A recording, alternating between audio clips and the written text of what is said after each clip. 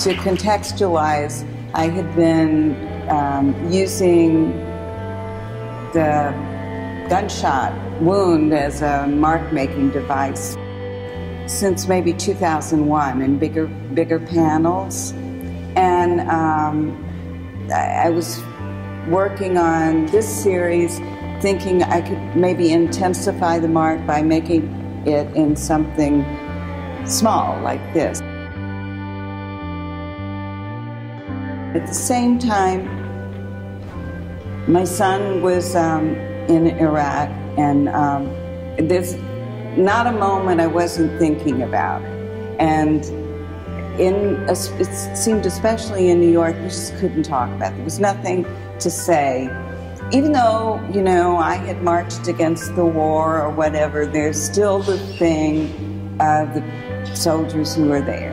And the more I thought about it, I thought, well, if I did something that was like a collaboration with the soldiers there, then um, it's interesting how people become, learn that making a work of art out of something expresses what what you're feeling in a different way. My son had a command there, so he talked to some people about participating with me, and he was kind of they would maybe, and then they went to my website and they said, okay, yeah, we'll do it. we'll do it. Okay, what do you want us to do? And so I just want uh, you to shoot these things and make a hole in it, and it'll be a kind of a communication, and we'll we'll go from there. We'll see what it what it is. The word sabachthani actually was in the Old Testament to begin with and it means, you know, Lord, why have you forsaken me? It's about being forsaken, uh-huh. e- even f- from from God, from everything, and it's such an aloneness.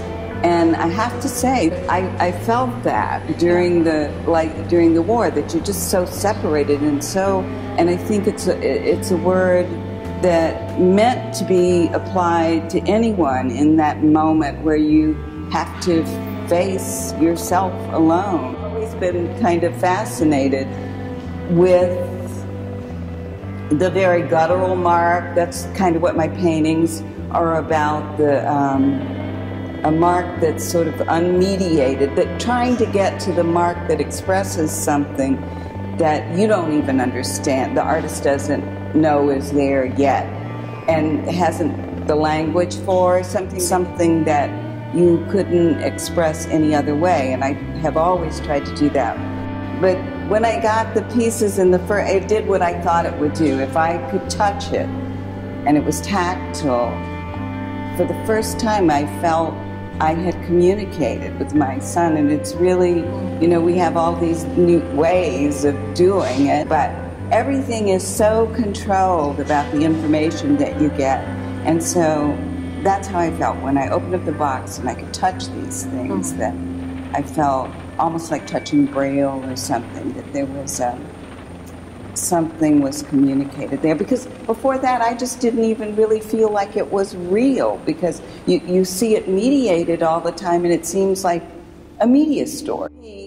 How I got started shooting um, was uh, my grandfather had a farm in Louisiana. I don't know, maybe I was four he took me out to shoot at tin cans. And when they they opened up i thought they looked like flowers. I thought they were beautiful.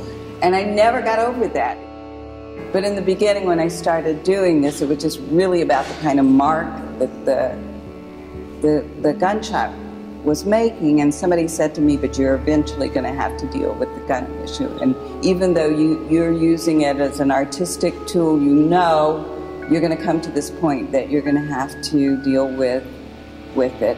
And it's so fraught and I do talk about it and I do get asked about it. And I think that the artwork just has to stand for people to take a look at it and decide for themselves. Is this something that was one of the reasons it seemed right to make the gunshot work. It's such an American issue but we also then have to come to a time to think about